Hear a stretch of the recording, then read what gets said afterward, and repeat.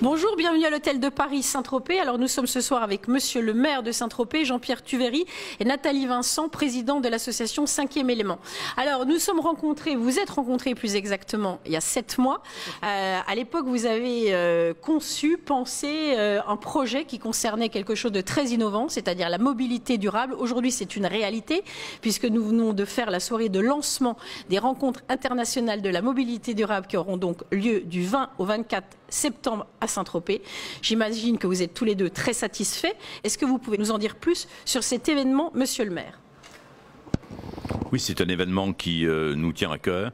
Euh, parce que euh, nous paraissait que Saint-Tropez, donc ville à forte identité, ville ville marque, si on peut employer cette expression, se devait donc de se projeter sur l'avenir, de se projeter sur le futur. nous avions déjà donc une expérience dans ce domaine puisque nous avions réalisé le, le donc le salon des énergies renouvelables et des véhicules électriques, et compte tenu des évolutions technologiques qui sont intervenues euh, entre-temps. Il était important pour nous euh, de renouveler cet événement, mais d'en faire un événement inédit, euh, tenant compte aussi de l'évolution technologique intervenue dans le domaine maritime et aérien. C'est la raison pour laquelle cet événement nous tenait à cœur.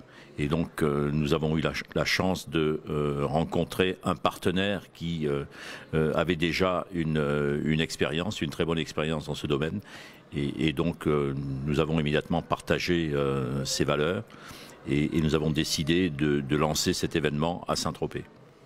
Merci. Alors, le cinquième élément, Nathalie, qu'est-ce que c'est?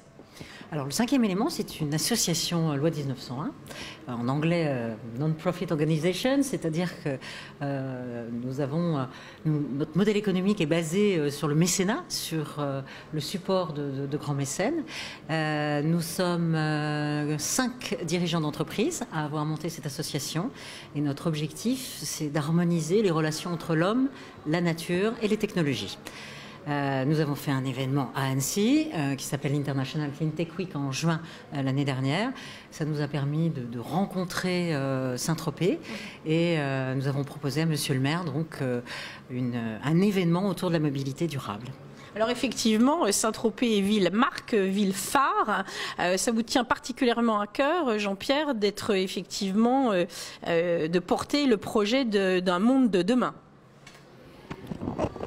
Oui, tout à fait, parce que euh, ça va, impliquer donc euh, euh, des changements considérables dans nos, modèles économiques, dans, dans nos comportements et aussi dans nos modes de vie. C'est quelque chose, je pense, que nous devons contribuer à sensibiliser le, le, grand public, donc à ces évolutions qui sont devant nous, parce que ça va passer très très vite d'ici une quinzaine d'années, parce que nous sommes pratiquement, euh, nous sommes en 2020 pratiquement, donc d'ici 2035, euh, je pense que euh, on ne se comportera plus comme nous l'avons fait jusqu'ici. Et c'est vraiment un saut énorme dans l'avenir. Et nous, ce qui nous a séduit donc dans la proposition qui a été faite par l'association, le cinquième élément, c'est cette expérience donc qu'ils avaient acquise notamment à Annecy, tous les, les contacts qu'ils avaient pu nouer. Donc le partenariat nous paraissait un partenariat idéal. Alors donc air, terre, mer, Nathalie, seront donc l'objet d'innovation, de, rencontres, euh, de visions, euh, de projets culturels aussi. Euh, le projet, votre projet des rencontres de la mobilité durable a la particularité d'être ouverte au public. Oui, effectivement, nous ouvrons les rencontres au public gracieusement, c'est-à-dire que tout le monde peut venir essayer, tester, toucher euh, les, nouvelles euh, euh, technologies liées à la mobilité.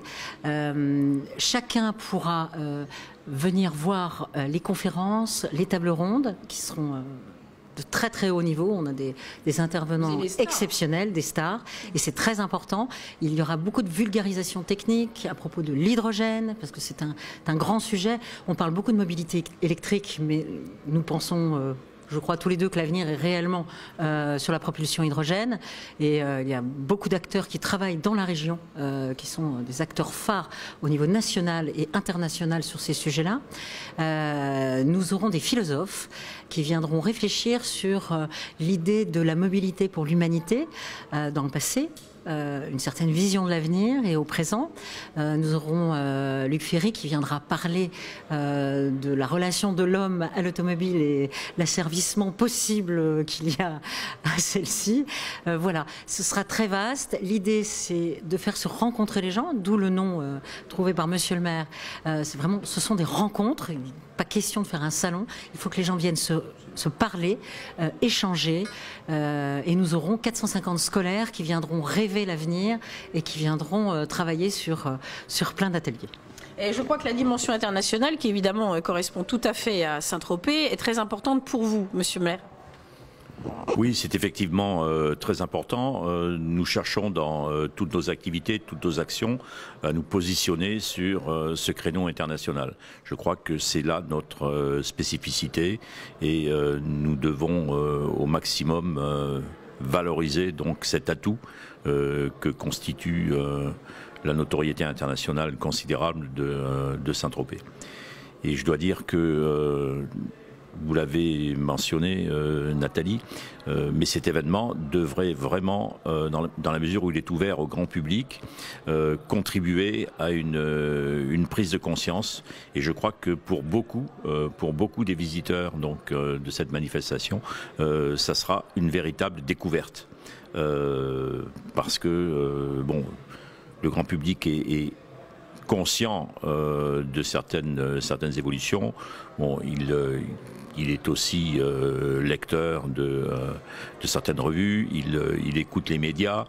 c'est un sujet d'actualité à l'heure actuelle, mais je pense que très peu de personnes ont pris conscience jusqu'ici des défis considérables que, représente cette transition vers le monde de demain. Très bien, alors on vous donne donc rendez-vous euh, le 20 septembre prochain à Saint-Tropez. Ce sera donc euh, majoritairement à l'emplacement du village des voiles, à côté de la capitainerie. Il y aura de grands écrans dans le village où les conférences sont retransmises pour que le public euh, soit touché directement, que ce soit place d'Hélice ou ailleurs. On vous attend nombreux, les enfants, les curieux, les innovants, qui sont prêts à accompagner Saint-Tropez pour le virage de la transition écologique. Merci beaucoup à tous les deux et donc rendez-vous en septembre.